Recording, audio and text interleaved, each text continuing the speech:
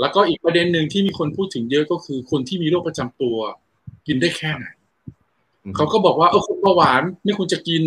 หรือคุณจะกินในปริมาณน้อยอันนั้นจริงครับ เพราะว่าแป้ง โดยเฉพาะกลุ่มข้าวเหนียวเนี่ยมี glycemic index หรือว่าค่าดัชนีน้ำตาลหนึ่งร้อยเปอร์เซ็นต์คุณกินข้าวเหนียวเข้าไปเนี่ย น้ำตาลในเลือดคุณพุ่งกลูโคสในเลือดคุณพุ่งปรู๊ดเลย กระตุ้นการหลั่งอินซูลินทำให้การควบคุมน้ำตาลในเบาหวานนั้น